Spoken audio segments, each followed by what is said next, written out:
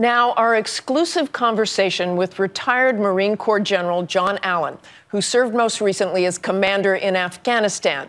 His retirement last month after turning down a NATO command was understandable, given the toll on his family from years abroad, plus being drawn into the controversy over former CIA Director David Petraeus, who resigned after revealing an affair.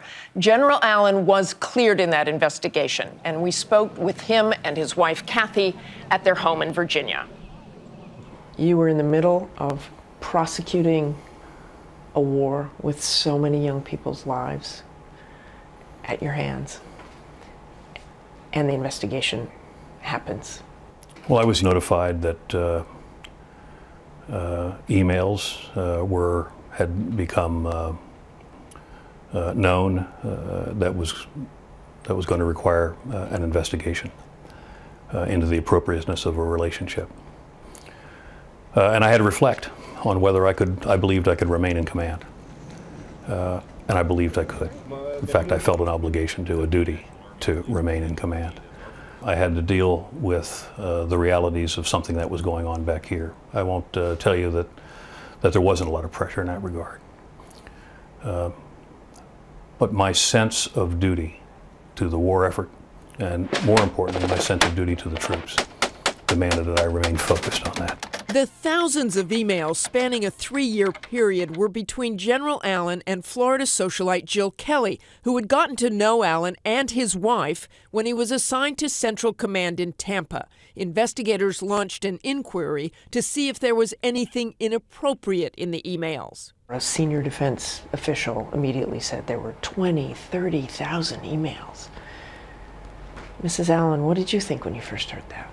The funny thing is, I guess because I got so many emails every day from the same person Jill that Keller. were yes that were very, always very friendly. Always, um, I always use terms of endearment. He always used terms of endearment. Sweetie, dear. Absolutely. When someone shares an email with her husband, you know, I thought, is is somebody thinking this is a little odd that you know they're they're taking this so seriously i mean i have a lot of faith in him I have a lot of faith, faith in our relationship. My biggest concern was for him because I thought, I don't know how he can run a war and then have this added pressure. Did you ever think, oh dear, what, what did I say in those emails? Anytime you're investigated, and you have to remember back across three years, uh, I, hadn't, I didn't have any concerns about what was, what was in the content of the emails.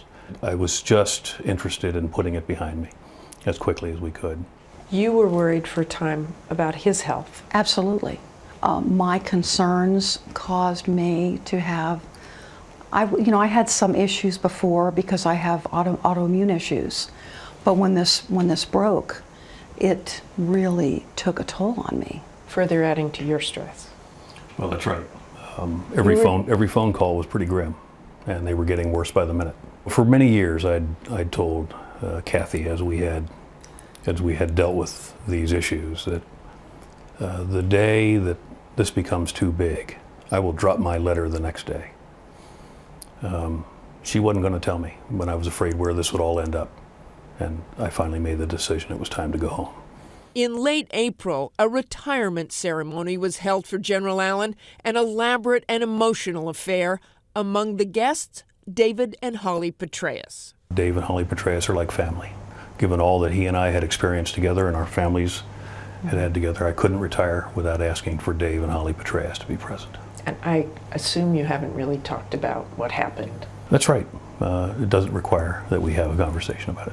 What Allen does want to talk about, does want people to remember, are the troops. During his retirement, he spoke movingly about those he lost during his command in Afghanistan. 561 troops you lost, and you said that's a number you you will never forget. That's right. I think about it all the time, and there's a moment of reflection about those 561 empty chairs around dinner tables uh, when families gather for Christmas from now on, or they gather for Easter, and some precious member of the family, they're gone forever. Uh, and that's, that's a generational loss, because the family will be different, the children will be different. Every one of those losses has to mean something. There's some very moving images of you at those memorial services?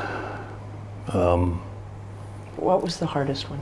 This particular ceremony was for three sets of remains. And the wife of one of the soldiers was in an adjacent unit.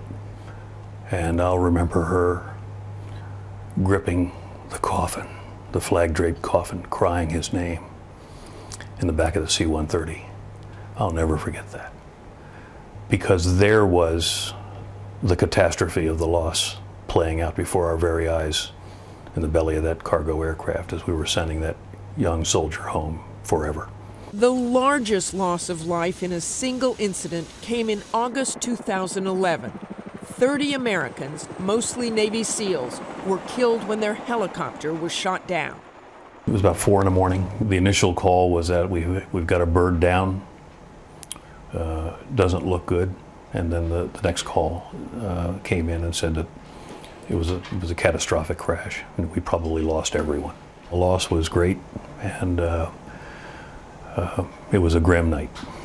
It was a grim night. After the ceremony was over, he went and found the people who prepared those caskets. And one by one, he thanked them for what they did. He said, I know this must have been hard on you. There was a healing that took place. When you look at what's happening there now in Afghanistan, we've been taking more casualties of late. What does that tell you about what's happening now? I think the Taliban are fighting for their lives right now. Uh, we've seen success uh, by the Afghan National Security Forces. I think that the Taliban have recognized is that uh, we're not going anywhere. You know, eventually our numbers will come down pretty significantly, but there's going to be an international military presence in Afghanistan for a long time. And you believe that is absolutely necessary that we remain? Oh, there's no question. The international community will remain engaged.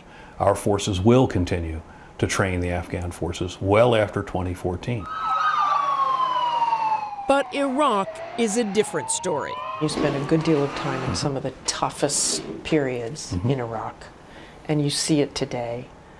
Are you alarmed at all about what's happening there? Well, I am. Um, my, my fear is that uh, we, we could see a, a, polarization of the principal elements in, in Iraq. The increase in violence for all of us that served there, in particular those of us who served in the Anbar province, which was a really violent area. Uh, we don't want to see a return to that. Would you have liked to have seen I think we the all military did. stay? I think we all did. The Iraqi uh, leadership was unable to put together the political uh, will necessary to give us the guarantees that we needed ultimately to station a large force there. So you think things would have been better off today, right now, in Iraq? I don't think there's any question.